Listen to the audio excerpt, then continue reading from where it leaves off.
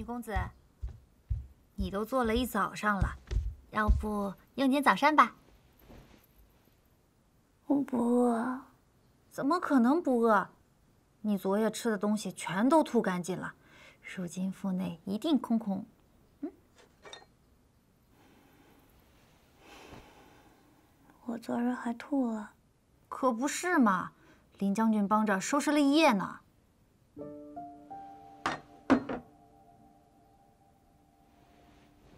公子，你不知道昨夜莲芳有多担心，你昨夜。又是哭又是笑，又打又踹，还逮谁咬谁。除了林将军，怕是没人能受得住。我都担心林将军一怒之下把你给砍了，可没想到他愣是陪了一宿。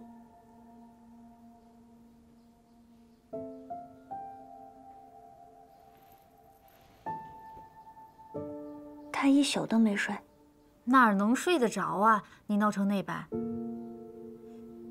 不过，你倒在林将军身上，倒是睡得挺香的。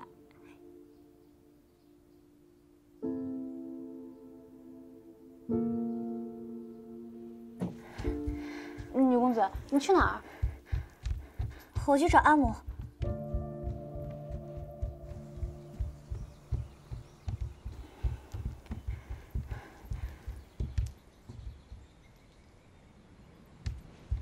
这鞋是谁的？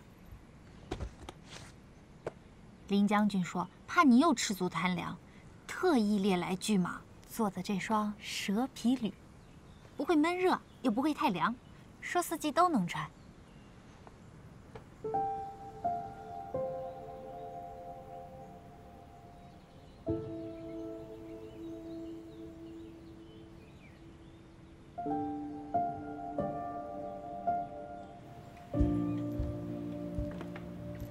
袅袅，你可愿听为父一言啊？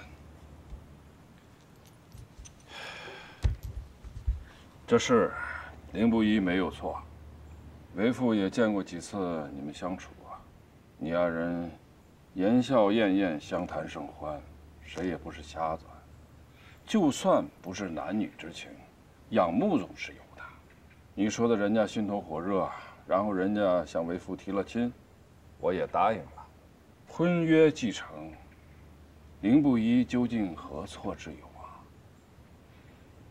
我没说他有错，我只是觉得现在的生活跟我想象的不一样。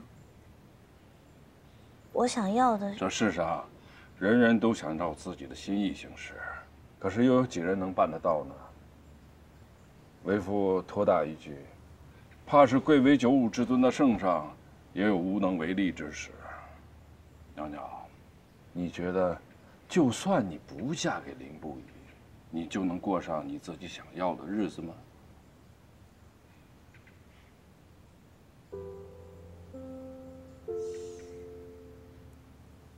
我觉得他不会为难我。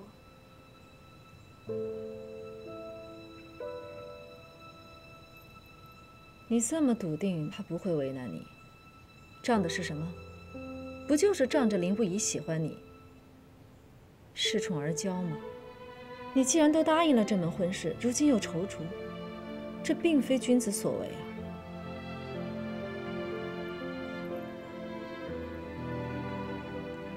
袅袅啊，我与你阿母啊，并非贪恋功名富贵之人，起之之初，本是想守着乡间平安。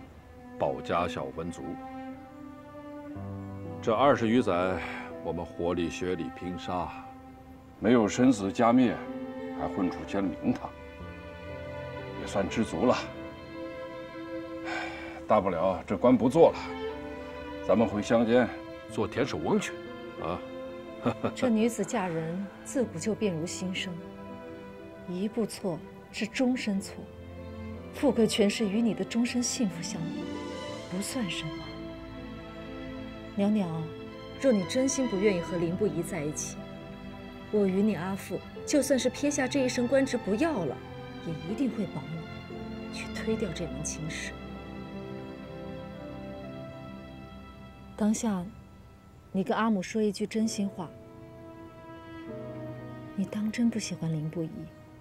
当真不想与他在一起？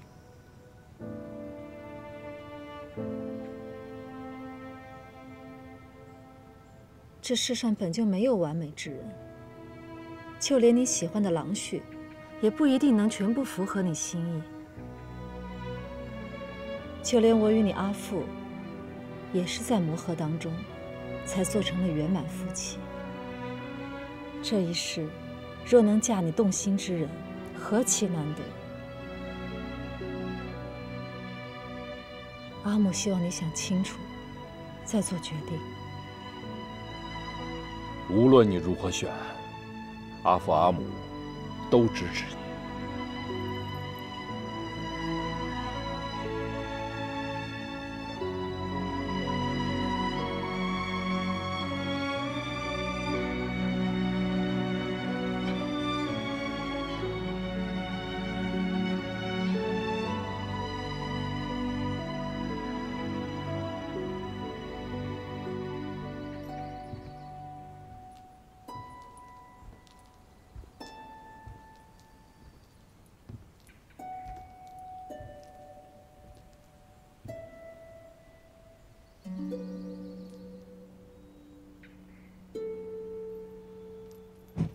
你这么笃定，他不会为难你，仗的是什么？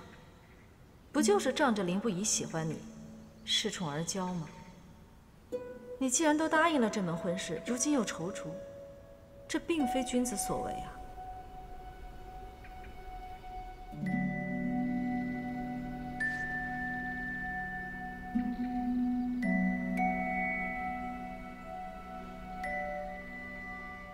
林将军说：“怕你又吃足贪凉，特意猎来巨蟒，做的这双蛇皮履，不会闷热，又不会太凉，说四季都能穿。”